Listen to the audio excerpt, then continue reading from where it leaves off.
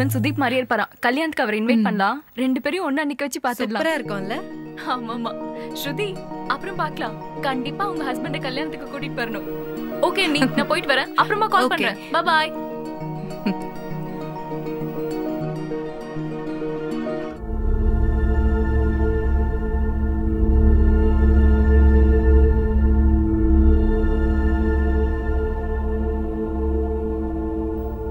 அவ தேவையில்லாம ஏதாவது பேசிக்கிட்டே இருப்பா. அதான் அவளோட நேச்சர் நாம இங்க சொல்லியிருக்கிற விஷயம் எல்லாமே பொய்யுங்கிறத மறந்துடாத நான் ஷாப்பிங்க்கு வரல. ஏன் என்னாச்சு? எனக்கு எதுவும் வாங்க வேண்டாம். அப்படின்லாம் சொல்லாத. உனக்கு நிறைய ட்ரெஸ்ஸஸ்லாம் வாங்க வேண்டியதா இருக்கு. நம்ம போயிட்டு வந்துடலாம். சீக்கிரம். ரெடி ஆயிடு.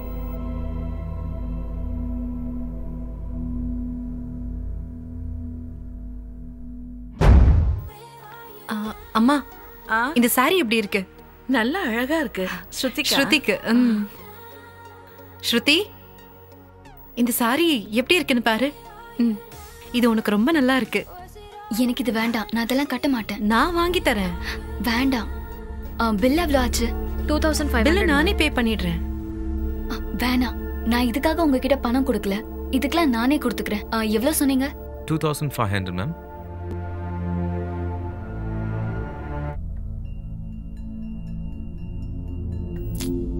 இந்த தொல்லை பிடிச்சவன் மறுபடியும் கால் பண்ணுறானே என்னடா விஷயம்? என்ன? டேய் சீசர்டா? PS Sophia? என்ன சொன்ன? டூ தௌசண்ட் ஃபைவ் தௌசண்ட்லாம் சின்ன பசங்க சாப்பிட்றதுடா. என்னது? அதெல்லாம் வேண்டாம். மேன்ஷன் ஹவுஸ் இருக்கான்னு பாரு. டேய் அக்கம் பக்கம் கடையெல்லாம் சுற்றி என்ன இருக்குன்னு பாரு. ஸ்மிர்னாஃபா அது ஓட்கா இல்ல அது நமக்கு ஆகாது. மவுண்ட் ரோட் மால்ல பாரு. இல்லனா வடபழனி பஸ் ஸ்டாண்டுக்கு எதிரில் பாரு. எது வாங்கினாலும் ஒரு நாலஞ்சு பாட்டிலா சேர்த்து வாங்கு. அப்பதான் ஒரு வாரத்துக்கு வச்சு சாப்பிட முடியும். சரியா? புரியுதுல? வச்சிடுறேன். என்ன வேணும் சார் வெண்ணிலா இருக்கா? இருக்கு. அது வேண்டாம் சாக்லேட் இருக்கா? சரி ரெண்டையும் மிக்ஸ் பண்ணி சேர்த்து ஒன்று கொடு.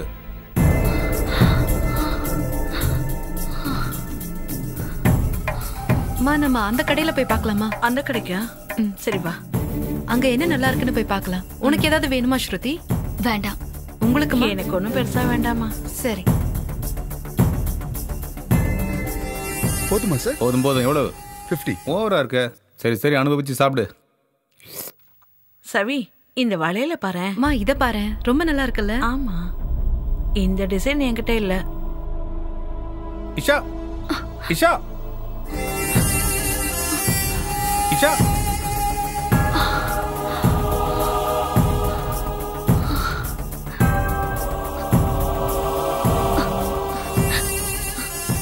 யார் இது எனக்கு தெரியலையே. ஹாய் சார் நீ பெங்களூர் போலியா? அங்க போறதா சொன்ன?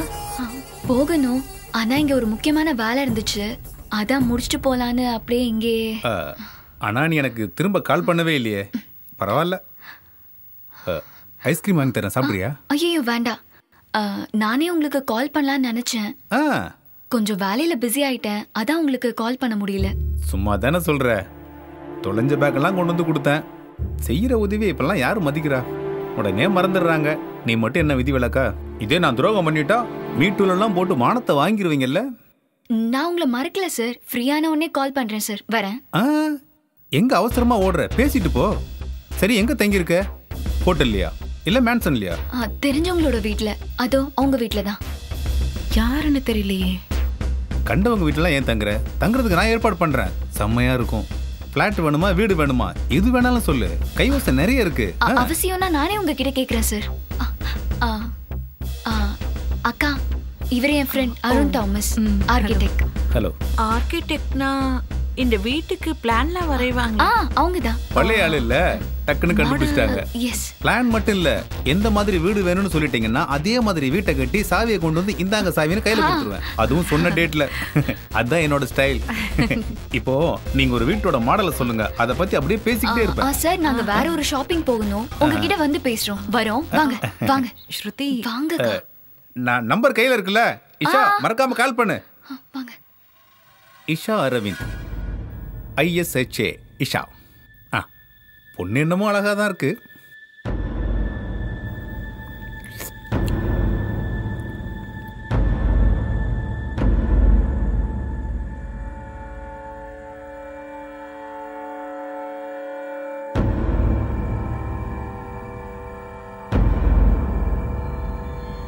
ஸ்ருதி அந்த அருண் உன்னை என்னன்னு கூப்பிட்டாரு? இஷாவா? அப்படியா கூப்பிட்டாரு நான் கேட்டேனே. நானும் கேட்டேன். அருணுக்கு தெரிஞ்ச ஒரு பொண்ணு பேரு இஷா. நான் பாக்குறதுக்கு அவங்கள மாதிரியே இருக்கேன்னு சொல்லி அடிக்கடி கிண்டலுக்கு இப்படிதான் கூப்பிடுவாரு. ஓ ஸ்ருதிக்கு தான் அவர்கிட்ட இவ்ளோ பழக்கம் இருக்கே. நம்ம தம்பிக்காக கட்டுற வீட்டை இவரை வச்சே கட்டிடலாமே. அதுக்கு ரவி வேற ஏதோ ஏற்பாடு பண்றதா சொல்லிருக்காருமா ஓ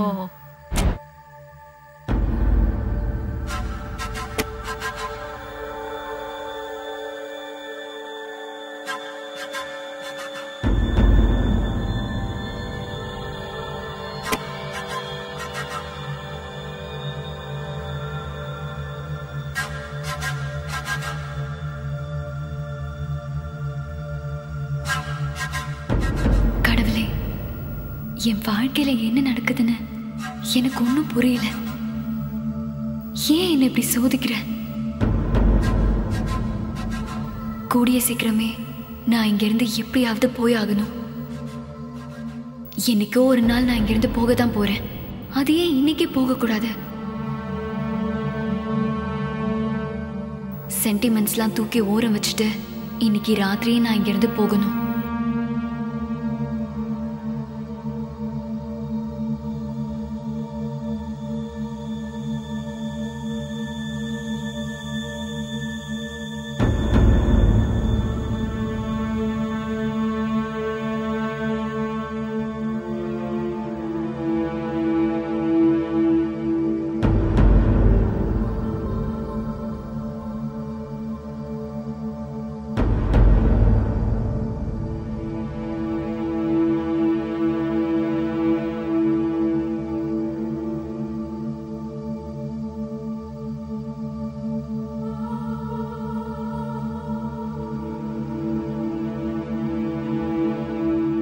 இந்த ஊர்ல சொந்தக்காரங்க தெரிஞ்சவங்கன்னு யாருமே இல்லைன்னு சொன்னா. ஆனா இப்போ அருண் ஒருத்தர சொல்றா. இன்னும் புதுசு புதுசா யார் வருவாங்களோ தெரியல.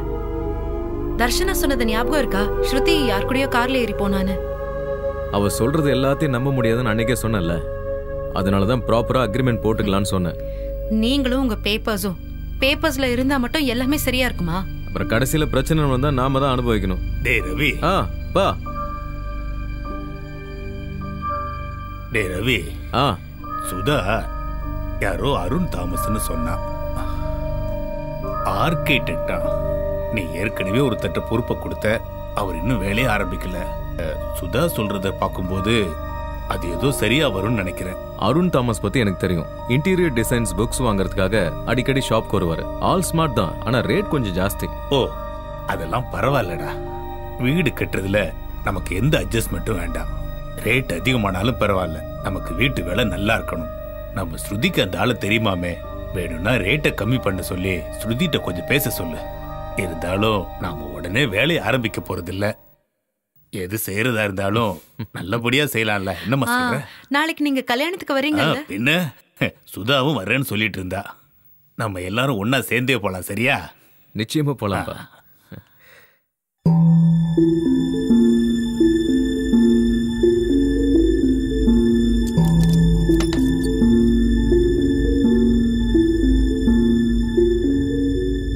அப்பா பேசுனது கேட்டல.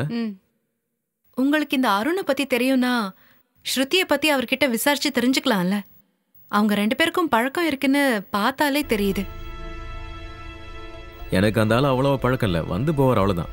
அவர்கிட்ட கேட்டா ஸ்ருதிய பத்தி ஏதாவது டீடைல்ஸ் சொல்லுவார்ல? கொஞ்சமாவது யோசிச்சு பேசு சவி. நம்ம வீட்டு பொண்ணை பத்தி ஒரு மூணாவது மனுஷங்கிட்ட போய் கேட்டா அது எப்படி எடுத்துப்பாங்க? கொஞ்சமாவது யோசிச்சு பாத்தியா? அதுவும் கரெக்ட் தான். அப்புறம் ஸ்ருதிக்கு தெரிஞ்சா ப்ராப்ளம் ஆயிடும்.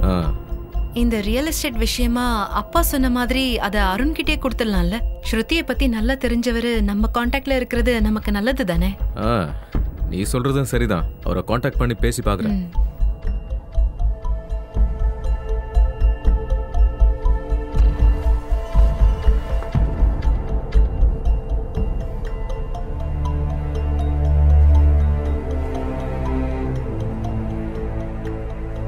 ம். வேண்டியதெல்லாம் வாங்கியாச்சுல? நாம கிளம்பலாமா யமுனா? இல்ல என் மொபைல கொஞ்சம் சர்வீஸ் பண்ணணும். நீ வேணும்னா கிளம்பு. நான் சரி, சர்வீஸ் பண்ணிட்டு அப்புறமா வரேன். உனக்கு ஏதாவது வேலை இருந்தா நீ போய் பாரு. என்னடி? என்னை விட்டுட்டு ஏதாவது ஹீரோவை பார்க்க போறியா என்ன? நீ ஒருத்தி நான் பாலுவை பார்க்கலான்னு இருந்தேன். காலையில தானே மீட் பண்ண? இந்த நேரத்துல விசிட்டர்ஸ் அலோவ் பண்ண மாட்டாங்களே.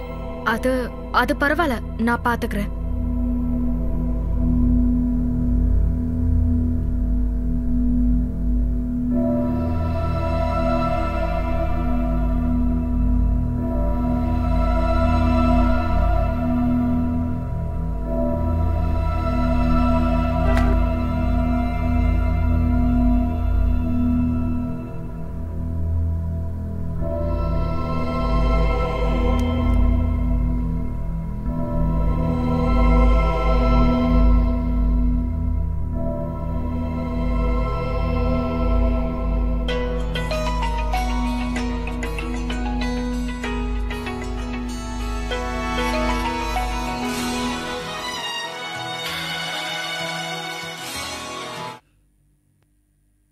Sorry D.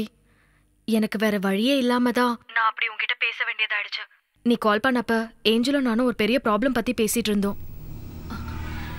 அதை விட பெரிய ப்ராப்ளம்ல நான் இப்ப இருக்கேன். அதை பத்தி என்னன்னு கேக்குறதுக்கு கூட உனக்கு நேரம் இல்லைல்ல ஏன் நான் சொல்றத என்னன்னு முதல்ல கேளுடி. நான் இப்ப யார் வீட்ல இருக்கேன்னு உனக்கு தெரியுமா? சுதீப்போட வீட்ல. சுதீப்போட வீட்லயா? ஆ, நான் சொன்ன ரவி என்ன சவிதாக்கெல்லாம் யாருன்னு தெரியுமா? சுதீப்போட அண்ணா அண்ணி. உண்மையா அவ சொல்ற? ஆமா உண்மைதான். நீ எப்படிடி அங்க போன? அப்படின்னா உங்க ரெண்டு பேர் விஷயத்தையும் நீ அங்க சொல்லிட்டியா? இல்ல. அவனுக்கு நிச்சயதார்த்தம் முடிஞ்சிருச்சு. Oh my god. உன்னை சுத்தி என்னடி நடக்குது? என்னால இனிமே இங்க இருக்கவே முடியாது. நான் இங்கிருந்து போயே ஆகணும். அதுவும் இன்னைக்கு ராத்திரியே. தயவு செஞ்சு இந்த மாதிரி எல்லாம் யோசிக்காத. நான் சொல்றத கொஞ்சம் கேளு. நான் எதுவுமே கேட்க விரும்பல யமுனா. இங்க ப்ராப்ளம் பெருசா போயிட்டு இருக்கு போலீஸ்லாம் இன்வெஸ்டிகேட் பண்ணிட்டு இருக்காங்க போலீஸ் இன்வெஸ்டிகேஷன் ஏஞ்சல விசாரிச்சிட்டு இருக்காங்க நம்ம கிட்டயும் சீக்கிரம் வந்துருவாங்க. இதெல்லாம் என்கிட்ட சொல்லாத. ஹலோ? ஹலோ?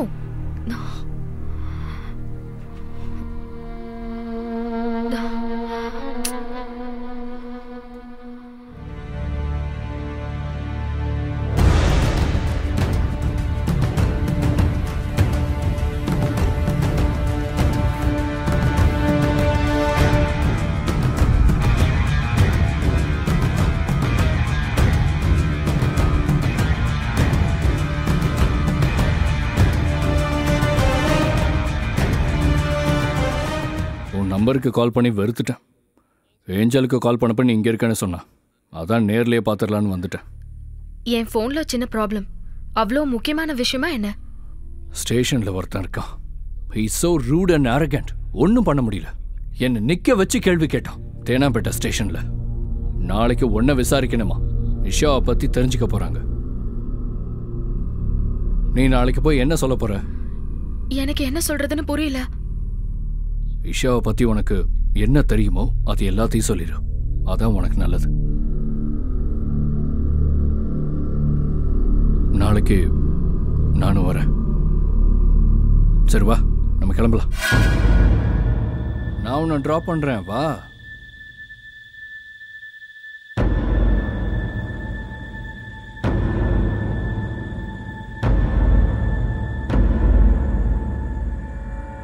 ஸ்ருதி?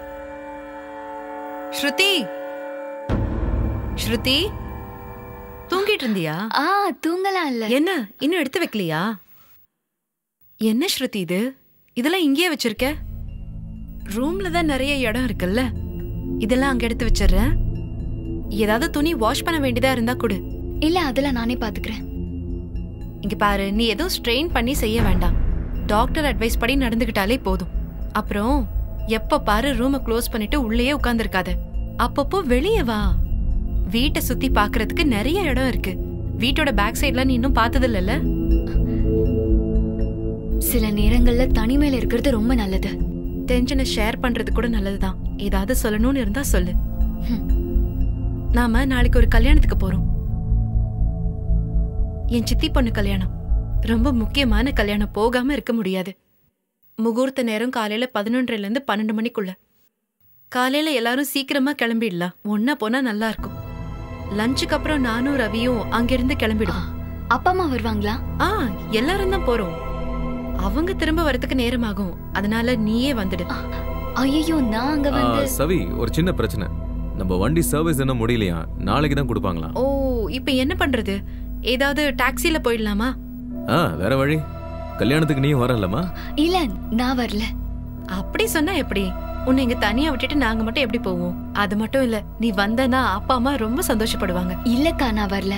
அங்க யாரையுமே எனக்கு தெரியாது. நான் வந்து என்ன பண்ண போறேன்? சரி வரலனா பரவாயில்ல. ஸ்ருதிக்கு இன்னும் இங்க கம்ஃபர்டபுளா இல்லைன்னு நினைக்கிறேன் அதனாலதான் அப்படி சொல்றா. சாப்பாடு ரெடி ஆனதும் நான் கூப்பிடுறேன். வந்து சாப்பிடு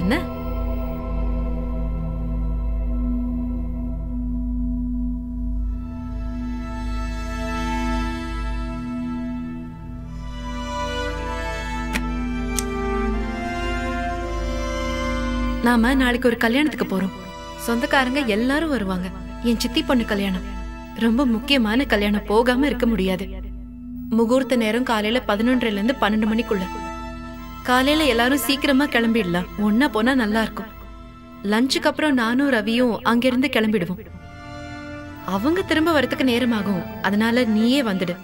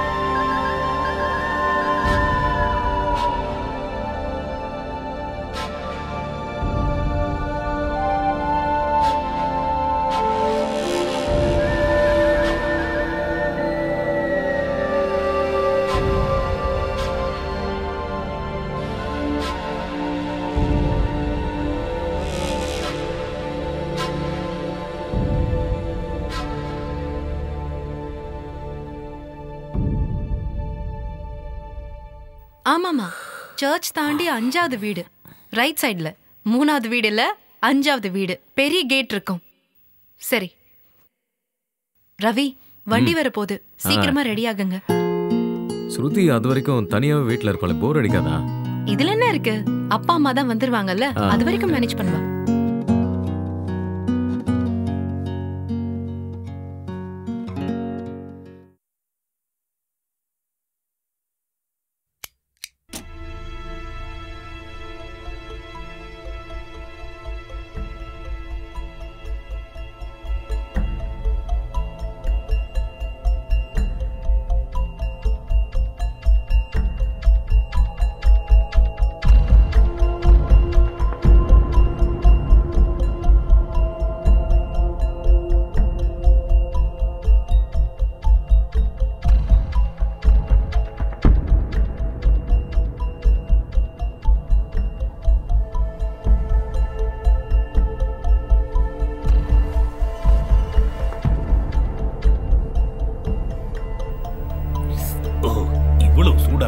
வயிறே வெந்துருமா? ஐயோ வண்டி வேற வந்துருச்சு. கொஞ்சம் இருங்க ஆட்டி கொடுக்குறேன். வா ஸ்ருதி. கிளம்பிட்டீங்களா? ஐயோ அவ இன்னும் ரெடி ஆகவே இல்லம்மா. ரொம்ப லேட் ஆகுது.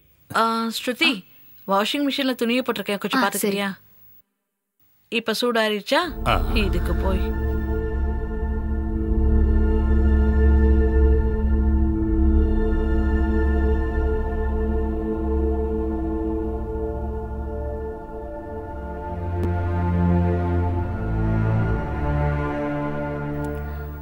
அண்ணா. பதினோரு மணிக்கு பிரைவேட் டாக்ஸி ஒன்று கிடைக்குமா? எங்க போனோம் ஆ, ரயில்வே ஸ்டேஷன் வரைக்கும் போகணும். ஆ அனுப்பிடலாம் மேடம் கொஞ்சம் முக்கியமான விஷயம் உடனே வேணும். எங்க மேடம் பிக்கப் இங்கேயா? ஆ இங்கே வரட்டும். எனக்கு உங்க நம்பர் கொஞ்சம் கொடுங்க. ஆ கண்டிப்பா madam double nine four double six ம். Zero double nine double two note பண்ணிட்டீங்களா? ஆ. எனக்கு வேற ட்ரிப் இருக்கு. நான் இன்னொரு வண்டி அனுப்புறேன். கன்ஃபார்மா வந்துரும்ல? வந்துரும் மேடம். சரி. ஆ ஸ்ருதி இங்க இருக்கியா? நீ ரூம்ல இருக்கேன்னு நான் நினைச்சிட்டு இருந்தேன். உனக்கு தேவையானதெல்லாம் செஞ்சு டேபிள்ல வச்சிருக்கேன். லஞ்ச் டின்னர்லாம் கரெக்டா சாப்பிடணும். மறந்துடாத. டைம்க்கு சாப்பிடணும்னு டாக்டர் சொல்லிருக்காங்க மெயின் டோர் லாக் பண்ணிக்கமா புது இடம் இல்ல கொஞ்சம் சேஃபா இருந்துக்க. நீ எங்க கூட வரலாம்லம்மா. வாங்க. சிநேகிதர்கள் எங்க சொந்தக்காரங்க எல்லாருமே அங்க வருவாங்க. அப்புறம் என் ஸ்கூல்ல ஆயிடுச்சு, படிச்ச- வாங்க. ஆ, ஆ, சரிப்பா வரேன். போயிட்டு வரோம். வரேம்மா. எப்ப திரும்ப வருவீங்க? ஆ, அப்பாவும் அம்மாவும் ஒரு மூணு மணிக்கெல்லாம் வந்துருவாங்க. நான் காலேஜ்க்கு போயிட்டு வர கொஞ்சம் லேட் ஆகும். போயிட்டு வரேன். ம்.